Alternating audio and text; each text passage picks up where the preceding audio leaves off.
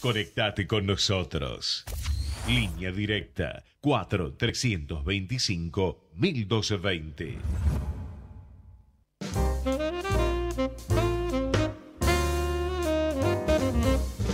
Ya es tiempo de abrir las puertas ocultas de la información para saber lo que pasa más allá de las apariencias. Ya es tiempo de La llave. Con la conducción de Jorge Velázquez.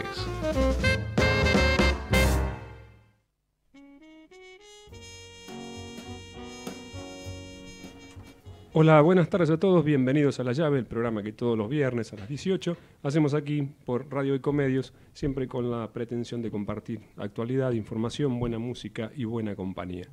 Eh, hoy quiero arrancar eh, comentando algo que tiene que ver con un aniversario, un aniversario muy importante, porque hay un café de Buenos Aires que es mucho más que un café, ya se van a enterar por qué, que cumple 10 años. Se llama Café Vinilo y queda ahí en Gorriti 3780 y se ha convertido realmente en uno de los lugares emblemáticos de Buenos Aires y de referencia para todo el circuito musical eh, de la ciudad de Buenos Aires y también del exterior, que, porque vienen también músicos eh, de otros países que han estado allí.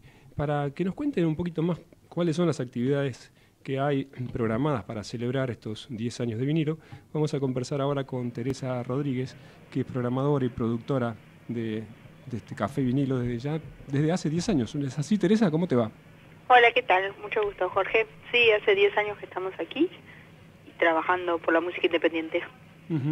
Y vos estás desde el arranque también trabajando en toda la parte de la producción. Sí, sí, sí. Comencé ocupándome de la producción del café, con lo que significaba el armado de los conciertos y el trabajo con los músicos. Y bueno, ahora también estoy programando y organizando la actividad acá. Ya te voy a preguntar que me detalles bien cómo son las actividades del, de todo este mes, porque va a ser todo junio la, celebración. Pero cuéntame un poco también cómo fueron los primeros pasos de Café Vinilo, cómo fueron los primeros conciertos, porque me imagino que fue todo a mucho pulmón, ¿no es cierto? Sí, sin duda. Cuando mm, Cheche Ordóñez me convocó a empezar a armar este proyecto, eh, yo vine a ver la sala y no, no era más que paredes. Y bueno, de ahí arrancamos eh, pensando cómo queríamos que funcionara un lugar de música para 100 personas y que tuviera la calidad y la dimensión de producción de un teatro. Entonces comenzamos trayendo un piano de cola, que en ese momento era una cosa no tan común en un lugar de 100 personas. Y arrancamos a contactar a los músicos que queríamos que formaran parte de la programación. Eh, era raro porque era decir, mira, vamos a abrir un lugar que no conoce nadie en Palermo, pero que tiene un piano.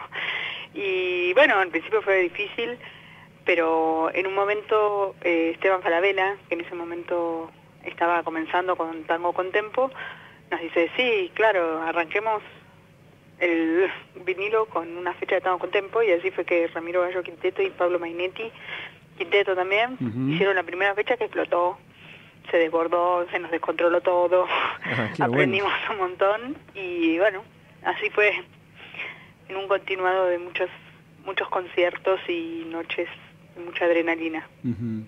¿Y, lo de vinilo por qué? ¿Por, ¿Por los discos de vinilo, un homenaje al vinilo? Sí, cuando nosotros arrancamos em, hay un espacio adelante en vinilo más chiquito donde teníamos un combinado con una bandeja y entonces la música que se escuchaba en esa parte eran de vinilos.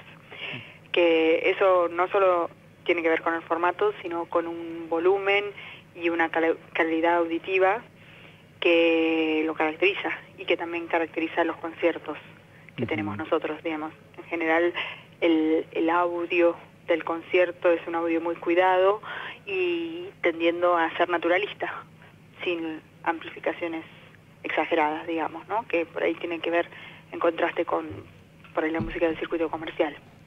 Claro, claro. Desde un principio siempre la, intención fue ser un, punto de, convocatoria para los músicos independientes. Sí, siempre, más que nada trabajamos con los músicos que tienen un proyecto eh, con una búsqueda artística eh, muy fuerte, donde mm, hay, digamos, ciertas características que tienen que ver con, la, con lo que es hoy la música argentina. Tiene que ver con el tango, con el folclore, con el jazz, pero hay una, una impronta de cada uno de los artistas que sube al escenario que es innegable y eso es lo que le da finalmente la personalidad a la programación de vinilo. Sabes que te escucho decir eso y pienso también y, me siento muy reflejado porque es el criterio que, uso yo ya hace 12 años también para los músicos que convoco a este programa, ¿no? Siempre. Eh, hoy va, a estar en un rato nomás, va a venir por acá Alejandro Herrera, un, bajista que quizás lo hayas escuchado, lo conozcas también del circuito independiente del jazz. Y muchos otros de los que nombraste también han, han estado antes en el programa. Eh, claro. Sí, es, ese, es esa búsqueda, ¿viste? De, de músicos que, que no hacen lo que ya escuchaste en otro lado o lo que viste en otro lado, sino que tienen una búsqueda personal y eso los hace únicos. Em, por eso, digamos, dentro de la programación del festival tratamos de convocar la mayor cantidad de universos musicales que pasan por acá, que son muy amplios, ¿no? Y ahora la idea es que durante todo este mes de junio ya empezaron el primero. Sí. Eh, eh, empezaron conciertos y hacen que es como una especie de repaso por todos los músicos que, estuvieron en estos 10 años. Eh, no, nos queda re chico un mes para todo eso, pero te diría que es un, un recorte de los músicos que, que constituyeron las bases de lo que es vinilo hoy. Vinilo no podría ser jamás lo que es sin la ayuda de todos los músicos que pasan por acá. Pero, por ejemplo, Roxana Med, Adrián Yáñez, em, Víctor Lavallén, eh, Martín Buscaglia, eh, son todos músicos que, que nos vienen acompañando hace un montón y que forman parte como del, de la comunidad vinilo, ¿no? Gente que, que si tiene un proyecto nuevo se acerca, que si quiere gestionar algo mm, nos pide ayuda y entonces para mí forman parte de, fundamental de que estemos acá hoy abiertos 16 años después, ¿no? Claro, claro. Y Café Vinilo además eh, se fue expandiendo no solamente en cuanto a a, la convocatoria musical, sino también a, las actividades, porque hasta tienen un sello discográfico ahora. Sí, tenemos un sello discográfico. Eh, el sello discográfico también busca eh, reflejar en un disco lo que pasa en un vivo, eh, tratando de mantener el concepto del, sonido este naturalista que, que buscamos y tratando de transmitir esa vibración que se genera en el vivo. ¿no? Además, uno puede escuchar muchos discos de un músico, pero cuando uno lo va a ver en vivo pasa algo muy fuerte que es la energía misma que hay en la sala que hace que, que te transmita cosas increíbles y bueno, el sello busca como captar algunos de esos momentos.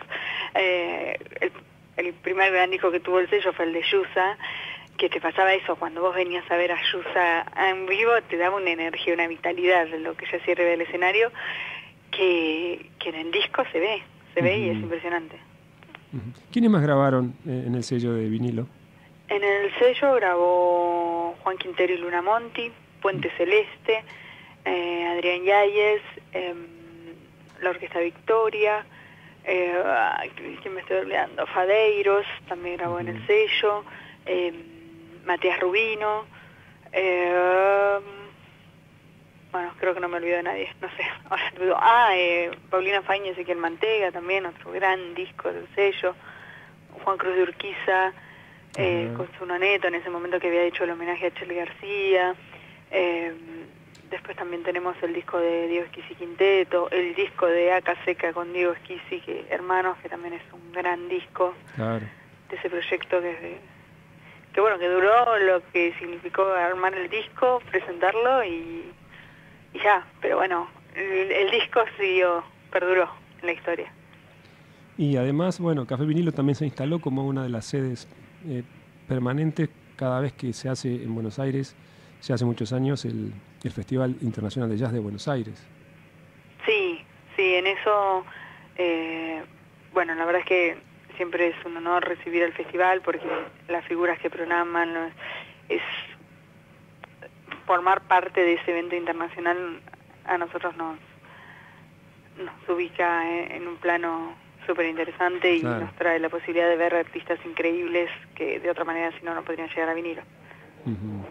Bueno, y contame un poco, a ver cómo algunos de los conciertos que tienen, pero no vas a poder contar todos los del mes, pero por lo menos los, que podamos destacar de fines de semana o, los que a vos se te ocurra que, quieras decirme.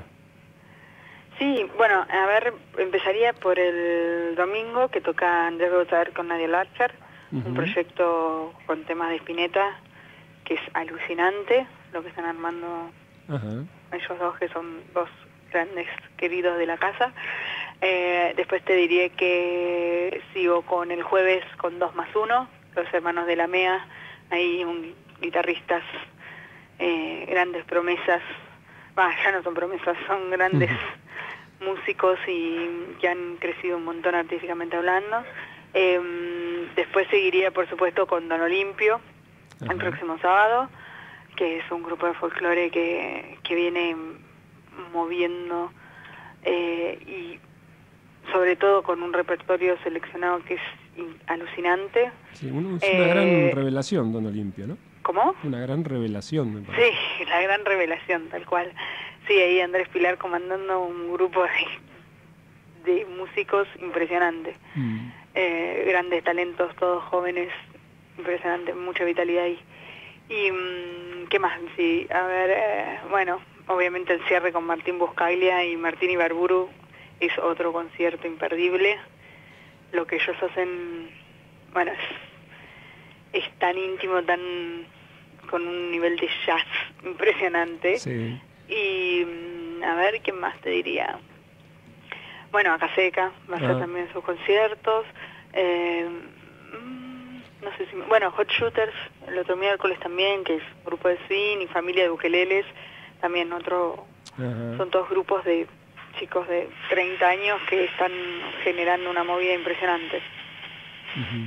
Eh, el, sábado, este sábado, o sea, mañana, si no me equivoco, van a estar eh, por ahí dos grandes músicos también que estuvieron la semana pasada acá en este programa, que son Victoria Sotalis y Martín Robio, ahí sí. haciendo un dúo muy íntimo en, la parte de adelante de, de vinilo, ¿no? Sí, sí, tal cual, van a traer el disco que, que están, bueno, ya, ya, hicieron, Martín ya tocó hace un par de semanas, sí. hizo un, par de temas con, con Victoria y esta vez vienen los dos en dúo, también va a ser un concierto imperdible. Eso es parte de los de los ciclos de conciertos que tenemos en la sala chica. Los sábados tenemos el ciclo de pianistas, los domingos el ciclo de cuerdas, los miércoles el ciclo de bandoneones y los jueves el ciclo de guitarras Ahí también tenemos grandes programadores, Ernesto Nájer, Andrés Pilar, eh, Lautaro Greco y Guillermo Rubino comandando esas, esos ciclos tan, tan cuidados y tan delicados. Buenísimo, Teresa. Este, yo te, agradezco mucho esta conversación. Y bueno, y también vayan mis felicitaciones por estos 10 años y por todo el gran trabajo que han estado haciendo en todo este tiempo y que sean muchos más. Muchas gracias. Muchas ¿eh? gracias y gracias por la difusión siempre. por favor. Nos ayuda. Gracias a ustedes. Chao. Hasta luego. Vamos ahora a una tanda y ya seguimos en la llave. Macarena se reencuentra con su abuelo después de mucho tiempo y Santiago va a cumplir su sueño de conocer Europa. Estas son algunas de las historias que vivimos todos los días en Aeropuertos Argentina 2000. Conocelas en nuestro sitio web o a través de nuestras redes. Aeropuertos Argentina 2000, donde tus emociones toman vuelo. Ahorra con plazo fijo digital del Banco Provincia y no ahorres tus ganas de llegar a lo que querés. Obtené tu plazo fijo digital en forma simple y segura desde VIP o cajeros de la red Link. Para más información, ingresa en bancoprovincia.com.ar. Ahorrar energía es responsabilidad de todos. Por ello, desde Naturgy te acercamos recomendaciones para hacer un uso más eficiente del gas natural y de esa forma puedas reducir tu consumo. Así, procura calefaccionar solo los ambientes donde haya gente y a una temperatura razonable. Utilizar el agua caliente solo cuando sea necesario y a la temperatura justa. Naturgy, cuidemos lo bueno, cuidemos el gas. Más consejos en www.naturgy.com.ar y seguinos en nuestras redes sociales. Con Prisma Medios de Pago, tu negocio crece. Crece porque tenemos una solución para cada tipo de comercio. Crece porque podés vender con todas las tarjetas de crédito y débito. Visa, Mastercard, Cabal y más de 60 medios de pago adheridos. Crece porque vendés más y mejor. Súmate vos también en prismamediosdepago.com y hace crecer tu negocio. Prisma Medios de Pago, número uno en Argentina en soluciones para comercios. Red Link. Servicios tecnológicos para una vida más fácil. La educación es el eje principal de las acciones de responsabilidad social corporativa de Santander Río. A través de su programa Universidades, el banco apoya la educación superior pública y privada. El aumento de la litigiosidad por accidentes laborales no es un juego. Junto con el Estado, las cámaras empresarias y los sindicatos estamos trabajando para que baje. WARD, Unión de Aseguradoras de Riesgos del Trabajo. Bien, aprovecho a leerles algo de información de empresas aquí en la llave. Les cuento que la Asociación Civil de Aseguradores de Vida y Retiro de la República Argentina, AVIRA, en conjunto con las 45 compañías que la integran, lanzó una campaña de comunicación 360 con el fin de continuar generando cultura aseguradora en la población. Con el lema No podés predecir el futuro, podés asegurarlo, difunde a través de una serie de, de famosas predicciones no cumplidas el concepto básico de las coberturas de vida y retiro, que son garantizar hoy las herramientas de prevención económica para el mañana o para enfrentar eventualidades con coberturas adecuadas a las necesidades de cada uno, y con el adicional de contar con la posibilidad de beneficiarse con la desgrabación de hasta 12 mil pesos por cada póliza de vida o de retiro contratada sobre los pagos del impuesto a las ganancias. Directivos de Naturgy, representados por su gerente general Alberto González Santos y el intendente municipal de Luján, Oscar Luciani, recorrieron las obras de ampliación de la red de gas natural de los barrios Covilu y San Juan de Dios. Esta obra implica la construcción de 5.000 metros de red, beneficiando a más de 200 hogares. Además, en el año 2018, Naturgy amplió la planta reguladora de presión Nuestra Señora de Luján, ubicada en Fray Manuel Torres y Julio Arroca, llevándola de 600 a 2.000 metros cúbicos horarios, permitiendo así la ampliación de las redes de la zona y asegurando un mejor servicio para los usuarios. El presidente del Banco Provincia, Juan Curuchet, anunció la construcción de una nueva sucursal en Lanús Oeste. La entidad invertirá 72 millones de pesos en la nueva sede de Hipólito Irigoyen 4041, que abrirá en 2020. Banco Provincia también aprobó un préstamo por 150 millones de pesos para el municipio de Lanús, que se utilizará para obras de pavimentación y bacheo.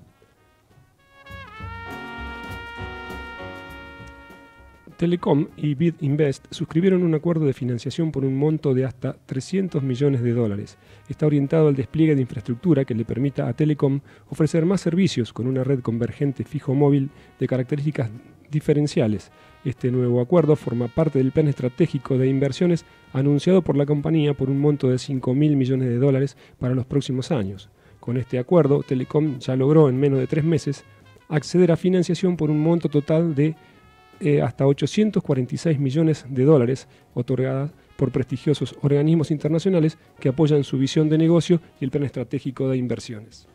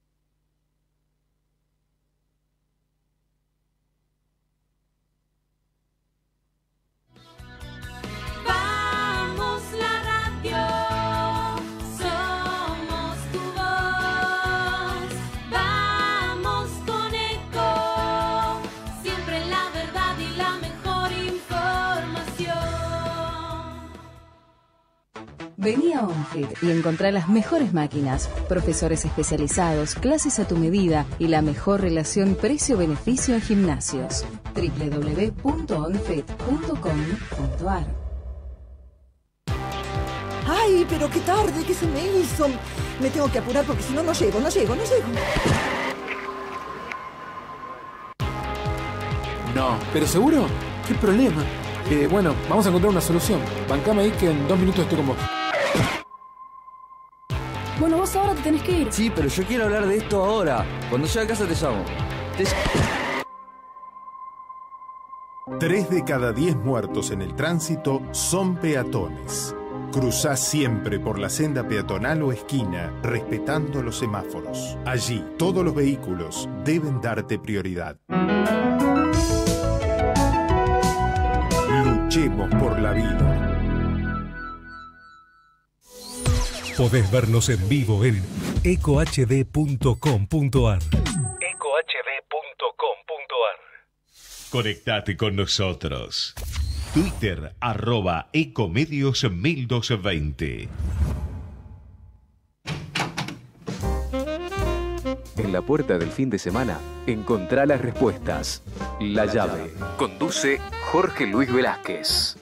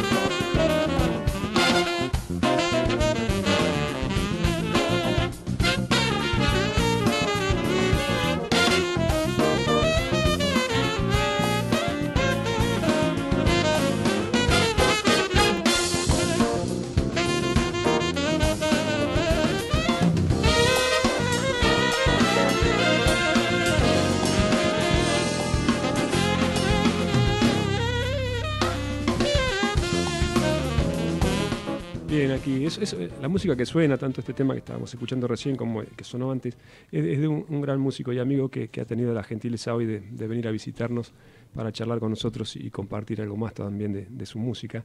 Alejandro Herrera, ¿cómo estás Alejandro? ¿Cómo va, Jorge? ¿Todo bien? Alejandro es, es un gran bajista y contrabajista. Eh, bueno. aquí, argentino, que tiene una particularidad, que es hincha de, de Brasil, y estábamos hablando de eso fuera del micrófono. Es un gran tema. el argentino más hincha de Brasil que conozco, ¿eh? Y preocupado por la lesión de Neymar ahora en la Copa América, por supuesto, me imagino. Estoy preocupado por la lesión de Neymar y por todo lo que está pasando alrededor. Pero bueno, no sé, vamos a ver. Porque viste lo que tiene el jugador. Bueno, no sé si querés hablamos de fútbol. ¿Sí? Me encanta hablar de fútbol. No, de lo que quieras, esto es una reunión de amigos. Lo que tiene el jugador brasileño es que es muy, viste, muy anímico. ¿Te acordás cuando pasó lo de Brasil en el Mundial? Que lo lesionaron a Neymar con la patada esa que le metieron en la rodilla. Sí. Que después perdieron 7 a 1. Sí. Bueno. Viste, te, te, tengo mis temores. ¿viste? Uh -huh. ¿Entendés? Porque conozco mucho, soy, como decís vos, soy muy hincha de Brasil. O sea, ¿por qué soy muy hincha de Brasil? Me gusta el fútbol brasileño uh, desde los 16 años. Cuando yo era chico, mi hermano me hablaba de Pelé, ¿viste? Porque él los disfrutó más. Ajá. Y yo, ¿viste? Como le pasa a mucha gente, cuando uno siempre gana, gana, gana, es como que te da un poco de bronca, ¿viste? Y siempre Brasil ganaba, ganaba, y el negro, ¿viste? Era terrible. Y después acepté que, sinceramente, era, era, era eso, era terrible, era mortal. Entonces, bueno, como que me cayeron las fichas y empecé a disfrutar un poco de ese fútbol y, bueno, me fui encariñando. no, y bueno, saqué el tema porque me acordé enseguida, porque, bueno, te, me viniste con el buzo, el, el busito Nike con el escudo de Brasil. oficial. Claro. Quien, quien esté escuchando y me pueda reponer un buzo, sí, por supuesto pago en efectivo, no lo puedo conseguir ni con gente que viaja a Brasil. Ah, mira. ¿Podés creer? Está, no, está no, difícil. No sé por qué, mirá que han viajado amigos, todo, le dije, loco, por favor, conseguime el buzo de que se, le mandé foto, todo, uh -huh. XL, y pero bueno, no, lo puedo, no puedo conseguir la reposición, pero la camiseta oficial siempre la tengo puesta. Muy bien, muy bien. Bueno, ¿y cómo, cómo andamos con, con, la camiseta de la música? ¿Estás tocando ahora con un quinteto? Sí, estoy tocando con estos chicos hace ya... El otro día le pregunté, porque hace tanto que, que, que tocamos que ya ni me acordaba. Eh, hace nueve años que toco con ellos. Ajá. Pues este grupo, lo que la, la particularidad que tiene, el, el, Quintet West, le puse así porque es, Son... es, una escuela de la zona oeste donde yo doy clases hace mucho. ¿Cuál es? Eh, se llama Leopoldo Marechal, una escuela de arte. Uh -huh. Es similar a la escuela de, de, música popular de Avellaneda, pero está en, en, en la rama de jazz está en, en, Ramos Mejía. La parte, digamos, central de la escuela es en, en La Matanza, en Isidro Casanova, donde se toman exámenes, pero en realidad yo trabajo en Ramos Mejía, desde que entré, hace ya 20 años. Y la cuestión es que, bueno, empecé dando bajo jazz exclusivamente y después pasé a tener este, prácticas de conjunto jazz. Y entonces en las prácticas de conjunto, bueno, iba viendo pibes, estudiantes que algunos son muy buenos, ¿viste? Uh -huh. Entonces se me ocurrió primero, formé un cuarteto con distintos pibes de, de distintos años eran. Eh, estaba en la batería un chico que se llama Julián Villegas, que ahora está viviendo en París eh, que tocó con grupos de blues, se dedicó a tocar, entonces ya un poco por la actividad que tenía con, no me acuerdo si Memphis, un grupo de eso que él tocaba siempre y, y no podía venir, el padre toca los teclados en Memphis. Y este y después en piano con Horacio Acosta, que ahora tiene muchísima actividad. En guitarra eh, Romano y yo, era un cuarteto. Y después se fue este el, el, baterista, Julián, por este motivo que te dije, y ya había otro que yo ya lo estaba viendo, que lo tenía ese año, que es Brian Anadon, pibe muy joven, muy, muy talentoso, y además veía un saxo que venía a los ensambles, Ezequiel Saquino, entonces ampliamos a quinteto, y bueno, y esa formación se mantiene hasta el día de hoy, tocamos en muchísimos lugares, y ahora vamos a tocar el viernes 14 en, ahí en el escenario en La Boca. Ajá. Ahí en ese quinteto vos tocas el contrabajo, no bajo eléctrico. Bueno, Eh, toco, sí, he tocado el contrabajo, he tocado el bajo eléctrico y ahora el, el, viernes que viene voy a estrenar un bajo que me acabo de comprar, que es un crossover entre un contrabajo y un bajo eléctrico. Eso es algo totalmente nuevo, que te lo estoy diciendo a vos porque en realidad no, no, lo, no me gusta hablar mucho de, de así, cosas, eh, nada. ¿No te gusta ostentar?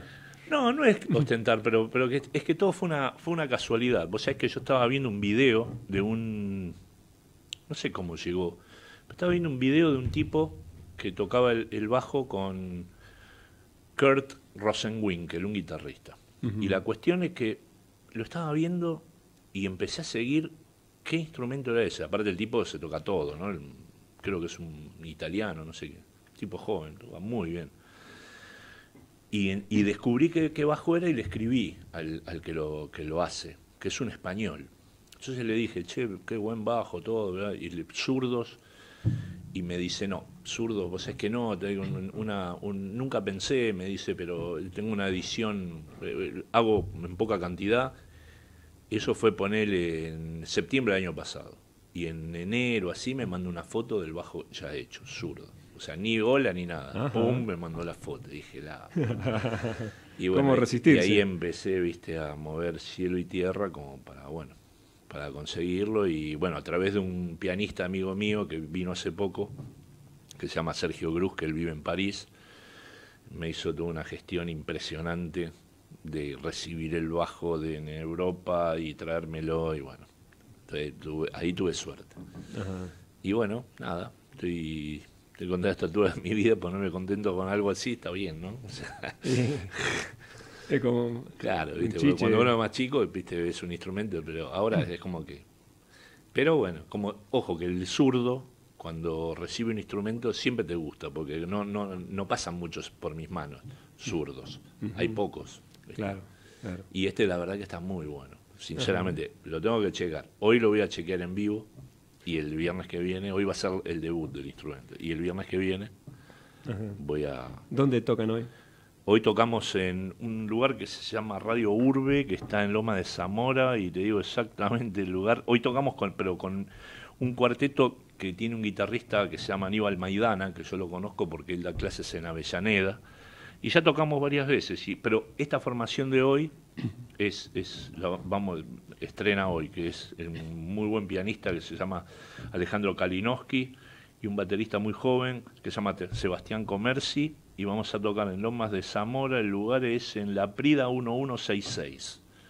Está anunciado 21, tocaremos 22. ¿Cómo son los, los horarios? Horario de Argentina. Horarios, claro. No sé en Brasil cómo son los horarios. Eso... No tengo idea. La verdad que no sé. Creo que la misma, la misma diferencia horaria que acá. Debemos ser. En eso debemos ser parecidos, seguramente. Eh, y esto es y el 14 sí tocas con el con el West. El 14 tocamos con el West Quintet que, que tocamos temas que alguna vez yo he llevado como arreglos y bueno, eso también es un grupo que me permitió canalizar un poco la algunas la música que a mí me gusta, que he transcripto, que lo llevaba al principio a la escuela osadamente a montar arreglos de, difíciles, ¿no? Bueno, lo que pasa es que todo en relación a los músicos, eh, estudiantes barra músicos que tenés. Ojo, está claro que estos pibes estudiaban conmigo hace mucho, pero son ya profesores en la escuela, o sea, han concursado por horas, tienen sus grupos, tienen sus discos, ya no podemos ensayar porque están todos muy ocupados de las actividades que tienen, o sea, nada, crecemos el año. Los años me pasan menos a mí, o sea, me pasan menos en cuanto a que para mí 10 años no es nada, pero para los pibes esto es mucho. Entonces ha, cambiado su estatus su, ya de... Te propongo que escuchemos un poquito de la música del quinteto de West, en un disco que Gerardo Subirana nos va a poner ahora, ahí en los controles. Muchas gracias, Gerardo.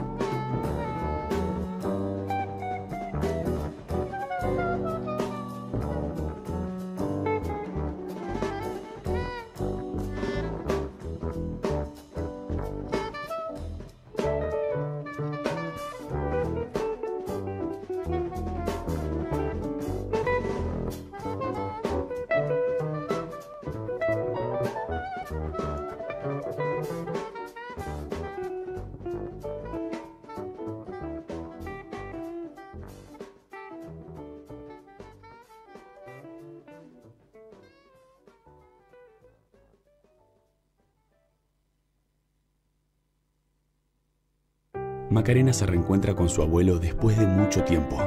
Y Santiago va a cumplir su sueño de conocer Europa. Estas son algunas de las historias que vivimos todos los días en Aeropuertos Argentina 2000. Conocelas en nuestro sitio web o a través de nuestras redes. Aeropuertos Argentina 2000, donde tus emociones toman vuelo. Ahorra con plazo fijo digital del Banco Provincia y no ahorres tus ganas de llegar a lo que querés. Obtené tu plazo fijo digital en forma simple y segura desde VIP o cajeros de la red Link. Para más información, ingresa en bancoprovincia.com.ar. Ahorrar energía es responsabilidad de todos. Por ello, desde Naturgy te acercamos recomendaciones para hacer un uso más eficiente del gas natural y de esa forma puedas reducir tu consumo. Así, procura calefaccionar solo los ambientes donde haya gente y a una temperatura razonable. Utilizar el agua caliente solo cuando sea necesario y a la temperatura justa. Naturgy, cuidemos lo bueno, cuidemos el gas. Más consejos en www.naturgy .com.ar y seguinos en nuestras redes sociales. Con Prisma Medios de Pago, tu negocio crece. Crece porque tenemos una solución para cada tipo de comercio. Crece porque podés vender con todas las tarjetas de crédito y débito, Visa, Mastercard, Cabal y más de 60 medios de pago adheridos. Crece porque vendés más y mejor. Súmate vos también en prismamediosdepago.com y hace crecer tu negocio. Prisma Medios de Pago, número uno en Argentina en soluciones para comercios. Red Link. Servicios tecnológicos para una vida más fácil. La educación es el eje principal de las acciones de responsabilidad social corporativa de Santander Río. A través de su programa Universidades, el banco apoya la educación superior pública y privada. El aumento de la litigiosidad por accidentes laborales no es un juego. Junto con el Estado, las cámaras empresarias y los sindicatos, estamos trabajando para que baje. WARD, Unión de Aseguradoras de Riesgos del Trabajo.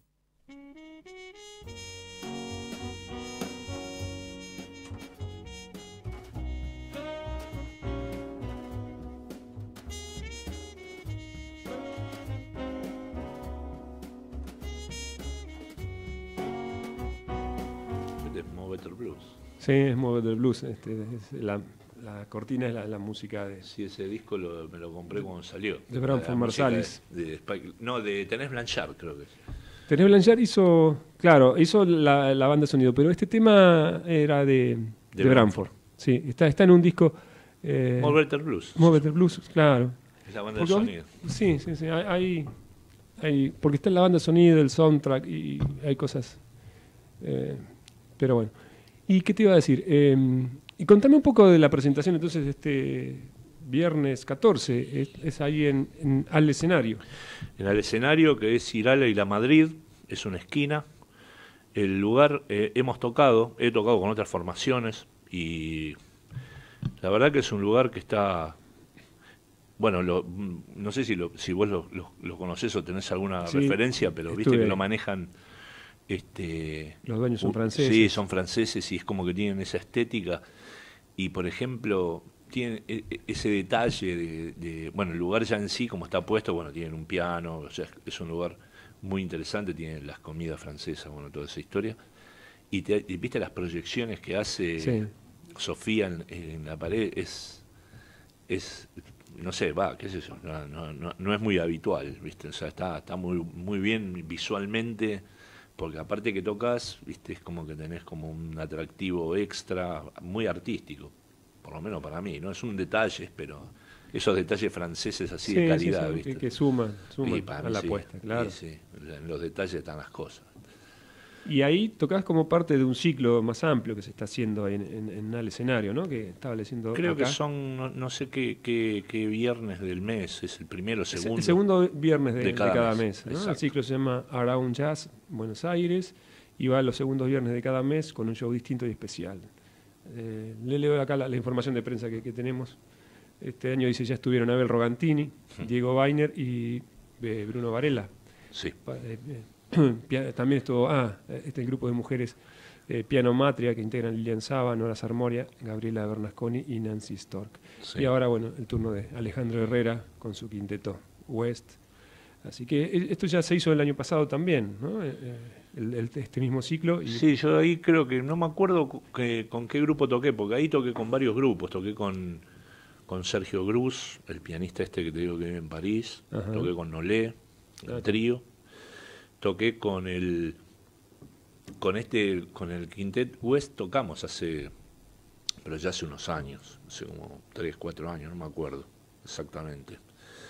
Y este y toqué también un, un tributo al bajo eléctrico que hice hace un par de años, que tocaba música de Jeff Berlin, de Victor Bailey, de Stanley Clark, de Jacob Astorius y Todo nene de pecho. y, y bueno, es lo que uno y Gary Willis, o sea, eh, un- hacíamos un par de temas de cada uno y, y lo hicimos ahí. Yo tenía miedo porque al ser un poco eléctrico, Claro. viste, pero estuvo fenómeno, o sea, bárbaro. Tampoco es eléctrico que te heavy metal, ¿no? Pero no es una propuesta como la de la de los demás grupos que son tríos de piano o este que es un quinteto, pero que tiene así un sonido acústico en líneas generales, ¿no? No, no maneja un, un volumen muy fuerte. El lugar es un lugar para música un poco más así, ¿no? Más, más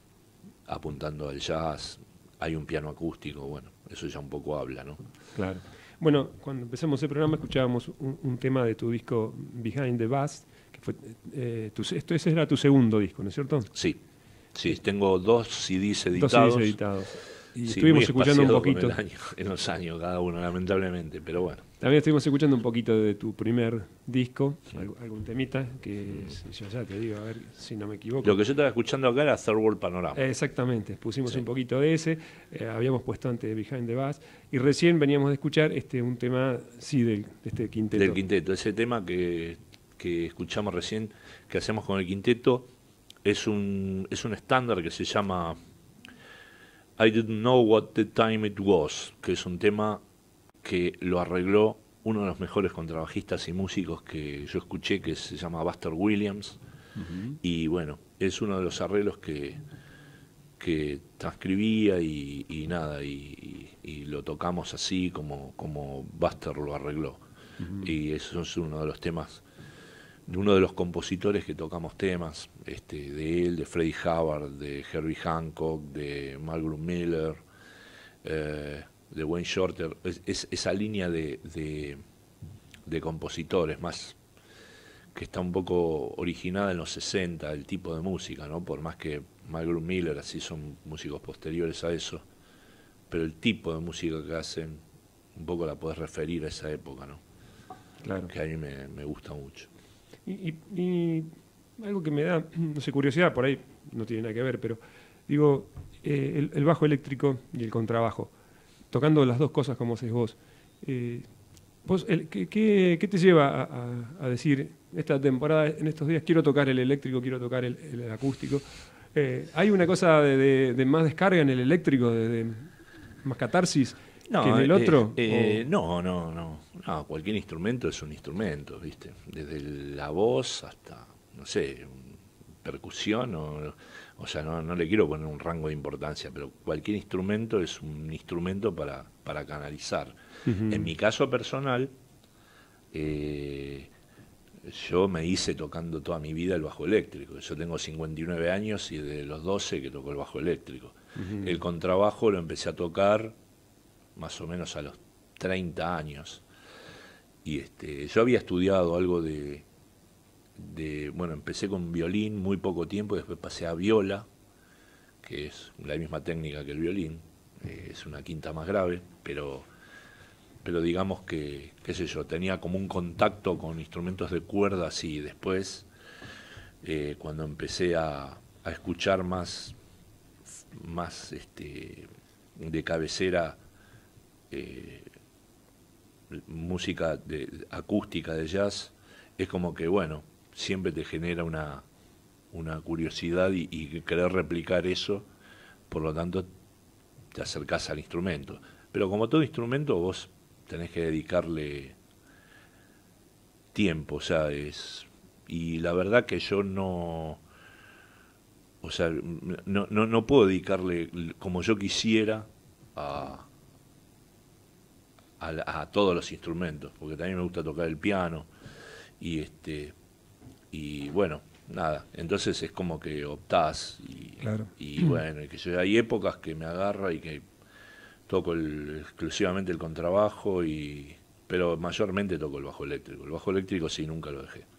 No, a mí me gusta, me gusta me gusta mucho, me gusta o sea, soy de una generación donde el bajo eléctrico me marcó un poco, ¿no? O sea, me parece que es un instrumento, qué sé yo, que a mí me identifica, ¿no? Claro.